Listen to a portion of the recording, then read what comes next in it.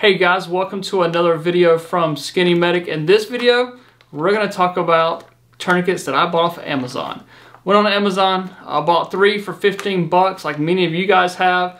Uh, so wanted to test it, see how it shows out on video here, and then show you some of the differences between this tourniquet and a North American Rescue tourniquet. Because I can, I do want to take the opportunity to talk about tourniquets and when we should use them. So you've got massive bleeding, like oh my gosh, that's a lot of blood. Uh, arms and legs, you've tried to hold direct pressure, you can't get the bleeding to stop, then you should put a tourniquet on it. Uh, put it above the injury, at least three inches above. Yes, high and tight is three inches above the wound, uh, but put it above the injury, pull it tight, secure it, spin the windlass until bleeding stops, and then get them to a hospital, get them to surgery. So let's take our tourniquet here out of the packaging here. This is a Ziploc bag.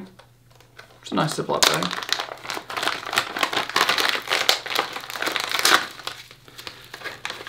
And they do give you some directions on here how to use your tourniquet. So that's at least good to provide that information there. And then we have our tourniquet. So we'll start out looking here at the differences between the packaging. It's pretty easy to pick up first if you're at a gun show, something like that. Uh, you can see the differences in packaging. This is the Chinese manufacturer, company unknown. Uh, this is the North American Rescue cat tourniquet. So you can see the differences here in uh, packaging.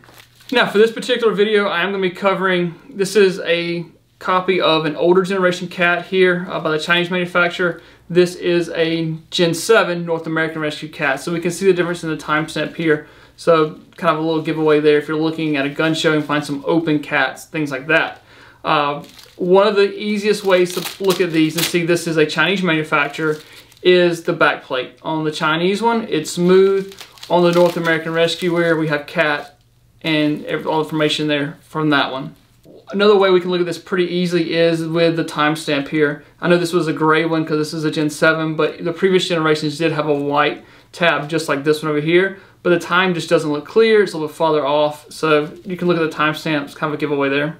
A lot of times in class we get uh, students come in and they've got these particular tourniquets here, either they bought them at a gun show or they bought off Amazon and they want to know what we think about them. Generally, I will demonstrate uh, some of the weak points of the Chinese manufacturer here in class, and I've broken quite a few of them.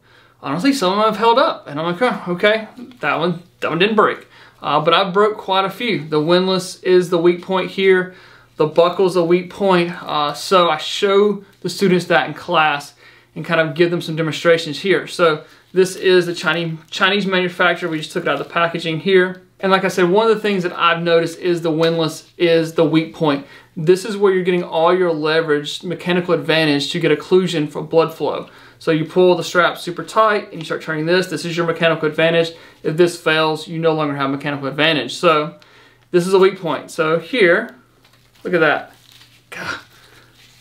I can make that a U shape just by my hand there. This is your mechanical advantage and it's that flimsy. That scares me. with the Cat 7 here. Look how strong that windlass is. You get a little flexibility, but nothing like I can't make that a U shape, okay? Much stronger. All right, so let's take a look at the Chinese knockoff version here. Straighten up my windlass here a little bit. So put it on above the injury. Pull it super tight, as tight as you can get it. Shouldn't be able to get any fingernails up under there. That's how you know you have the band tight. And look at that. Like, let's see if I can get that on camera. Look how much slack is in there in that inner band. That really scares me. You got to make a lot more turns to get started getting occlusion.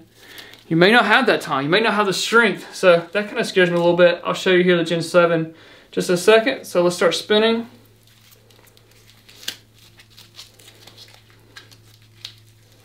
Okay. Then, okay.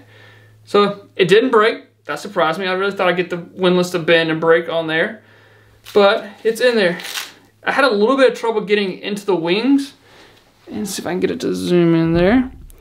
The wings are starting to form down. Like they're starting to, under pressure, start to fold down. So it made it a little more difficult to get the windlass in because they're trying to buckle cup down. that is pinching like crap right there. That hurts really bad. So pinching, weak point right there. So, but it works. Like it's, I have delayed capillary refill and no radial pulse. All right, so I'll show you real quick on the Gen 7 here. There again, pull it super tight. No fingernails up under there. No slack there. Like may have put one finger up under there, not a big deal. So I'm already getting occlusion just that little bit. Man, hurts. So you can see the difference how many times I rotate the tourniquet. Boom. God, that hurts really bad. No pulse. Boom. So you may not have the strength, may not have the pressure to keep turning over and over again. Big deal. You can see, staying flat, no pinching. All right, so we'll run another test here just to show you guys I'm not lying. I do not have a Doppler, okay? Like that would be the way to test this to make sure we have a Doppler, we don't have blood flow, nothing like that. But I do have a pulse ox, so not exactly super scientific, uh, but it is a way to test. Let's see, let's put it in this one, fingers out.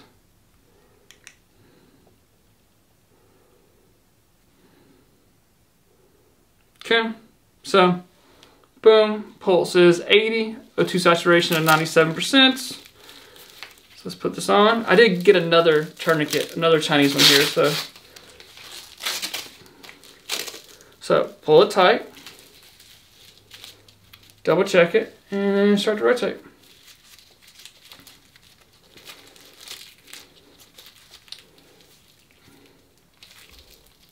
Okay, pops in.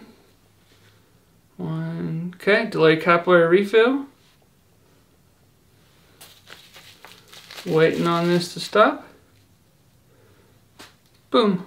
So, you can see, can't get that to zoom in on my pulse ox here. Can't get it to zoom in. But, it does not want to zoom in, does it?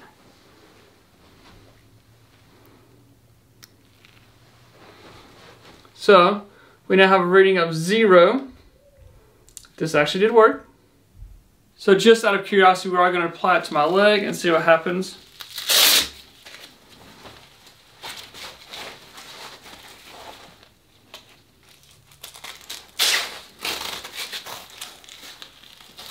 So pull it tight. Start to rotate around.